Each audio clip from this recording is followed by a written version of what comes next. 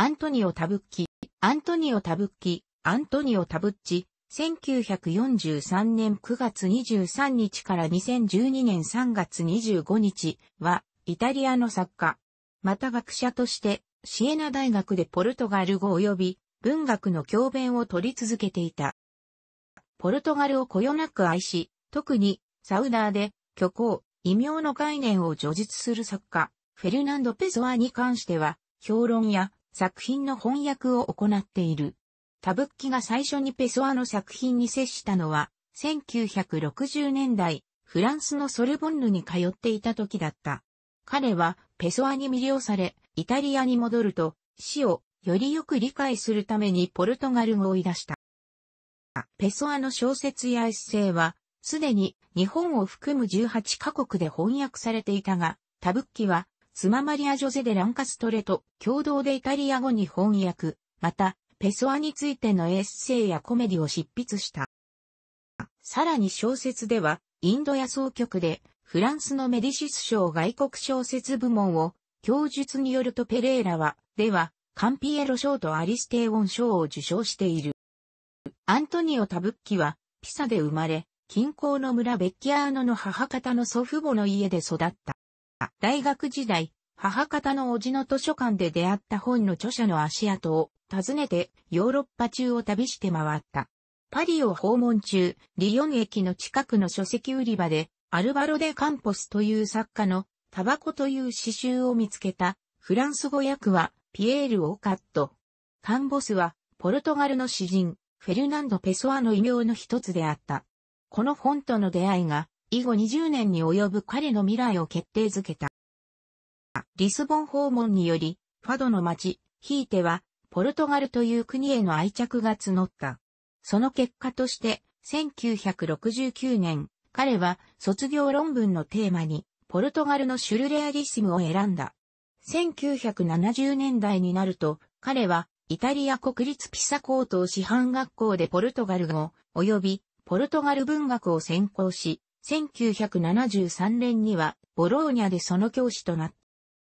た。その年、彼は最初の小説、ピーツェ・ディ・イタリー、出版は1975年、ボンピアーニ社を発表した。これは、フェデリコ・デ・ロベルト、ジュセッペ・トマージ・ディ・ランペドゥーサ、ベッペ・フェノグリを、最近では、ヴィンチェンツォ・コンソーロといった作家が題材としたトスカナのアナーキストの事件を敗者の視点から叙述した意欲作だった。1978年、彼はジェノバ大学に迎えられた。この年、イール・ピッコロ・ナビングリを、モンダドリ社を発表。さらに、逆さまゲーム、1981年、イルサジアトーレ、島とクジラと女をめぐる、断片、1983年、セッレリオ社、そして1984年には、彼の代表作である、インド野草曲を発表。アラン・コルノー監督によって映画化、インド野草曲、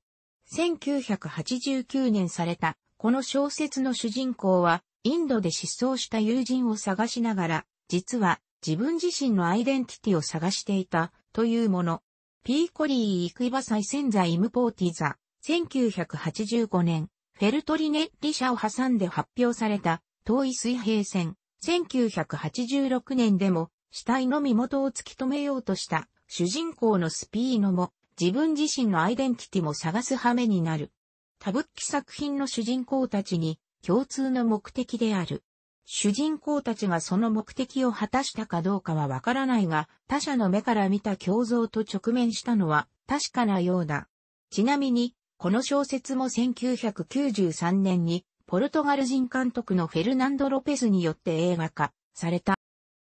1987年、ベアト・アンジェリコの翼あるもの、セッレリオ社とペッソアのミニマ、リスボンインプレンサナスヨナル社を出版。フランスのメディシス賞外国小説賞を受賞したのも、この年のことである。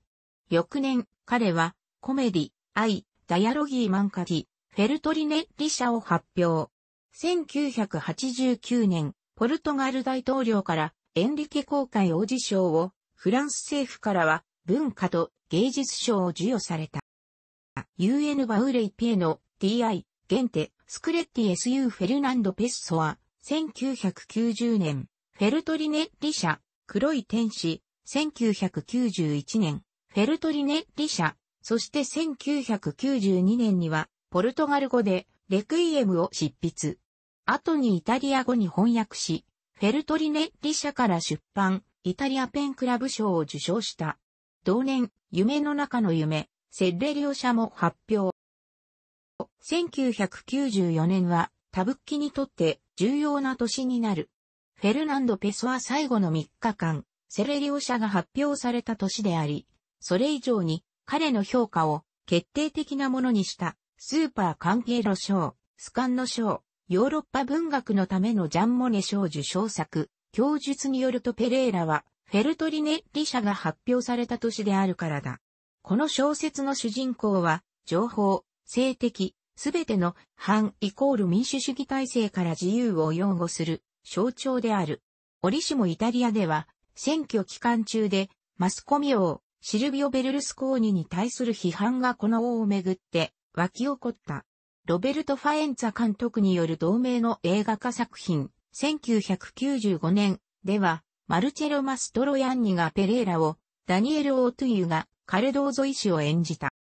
1997年には、実際にあった公園で見つかった首なし死体事件に基づく、ダマ製のモンテーロの失われた首を発表。男は、ポルトガル共和国警備隊、GNR の署内で殺害されていたのだった。このニュースがタブッキの感性と想像力を刺激した。この事件の起きたポルトは、彼の愛する都市で、その愛を示す機会にもなった。この小説を執筆するにあたって、タブッキは、ストラスブールの欧州評議会で、市民と警察の関係を含めた、ヨーロッパにおける、市民権と統治の状況について、資料をしらみつぶしに調べた。後に、警察巡査部長のジョゼドス・サントスが、殺人の罪で逮捕され、禁錮17年の刑を受け、この小説が予言的であったと判明した。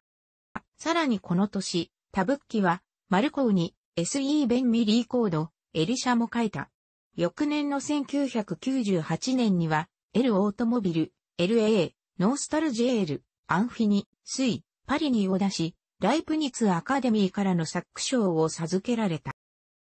1999年、D ジンガリー、イールリーナシャメント、シピエルト、エナポーカミソゲマトライケです。ウナカミーシャピエナ DI、マッチエ、コンバーセッシニー DIA、T、カーンはアンティースクリススタミです。アーグラー、アテネを発表。疑いは、選択された白いシャツについたシミのようなもの。すべての作家、文学に携わるすべての人間の仕事は、完全なるものに疑いを染み込ませることである。なぜなら、完全なものは、イデオロギー、独裁、全体主義の概念をもたらす。民主主義とは完全な状態ではないのである。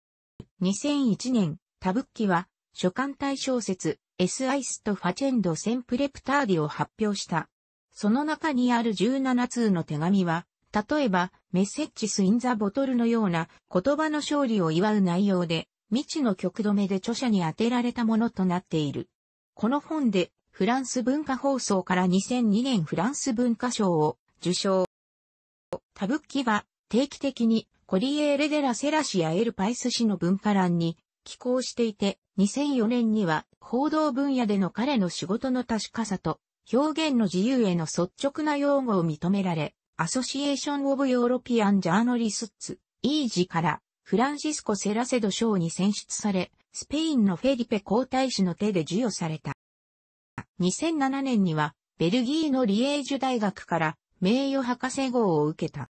彼は1年の半分を妻の生まれ故郷であるリスボンで、残りは彼がポルトガル文学の教授を務めるシエナ大学のあるトスカーナ州で過ごしていた。2012年3月25日、病気のためリスボンで亡くなった。タブッキーは大学教授と呼ばれることを嬉しく思っていて、作家であることは存在論的感覚の中だけだと考えていた。タブッキにとって文学とは職業ではないのである。ではあるが、欲望、夢、想像力を含む何か、アントニオ・タブッキ、un dubitatore impegnato、intervista di アスベル・ロペス。